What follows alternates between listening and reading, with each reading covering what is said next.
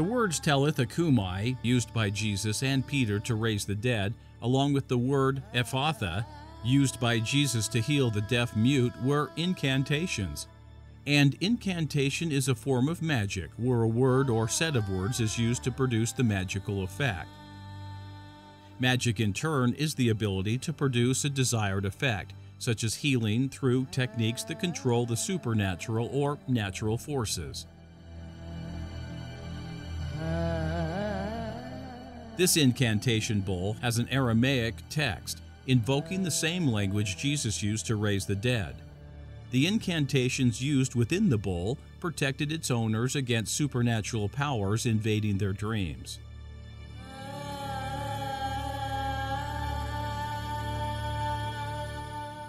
The operative magical words are quotations from Zechariah and Deuteronomy. The verse from Zechariah is an incantation well known for its protective qualities and is still used as part of a daily prayer.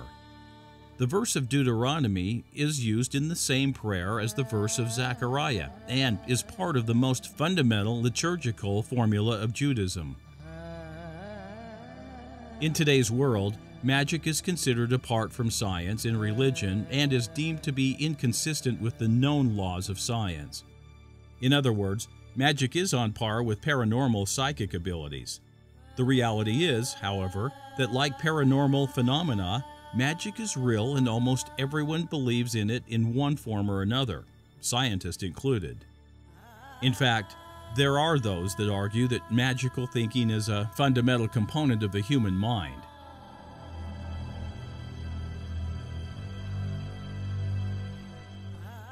Magic or magical thinking, regardless of the scientific or rationalistic culture we live in, is universal.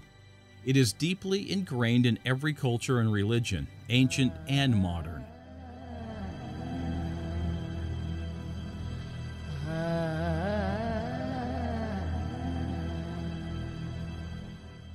Magic and magical thinking is inherent in the gospel of Jesus Christ and is found throughout the scriptures, both in forms approved and disapproved by the Lord. The account of Aaron's serpent staff at Pharaoh's court is an example where both forms are demonstrated.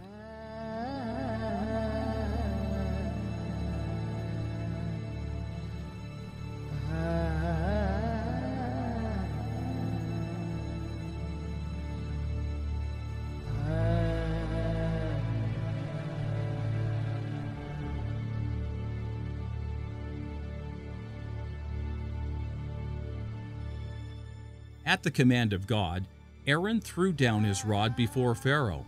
The rod was transformed into a serpent. Pharaoh called upon his wise men and sorcerers to replicate the feat. They did so using enchantments.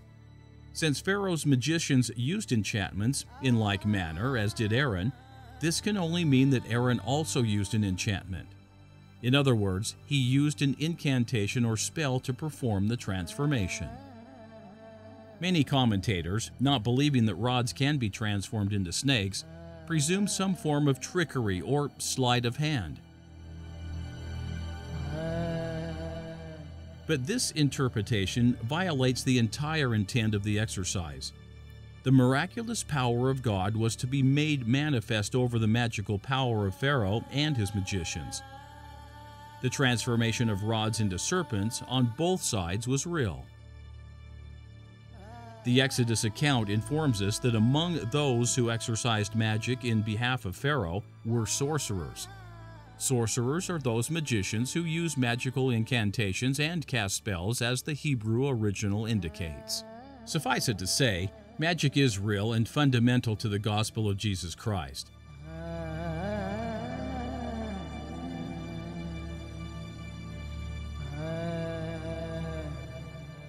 We have noted earlier that it is belief or faith that is the active power of healing.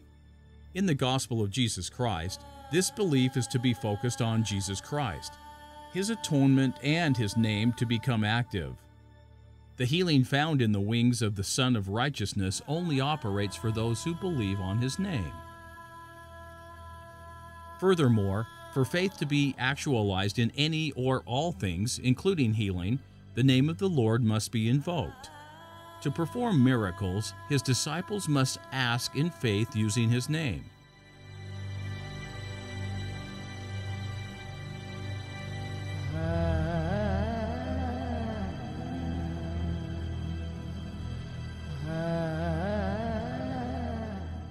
Promises are only granted when there is faith, doubting nothing, and when requested in the name of Christ.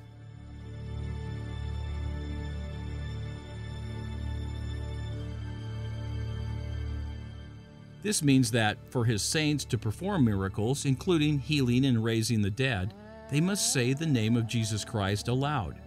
In other words, the name of Jesus Christ becomes an incantation, bringing about a magical effect, called in Scripture a miracle.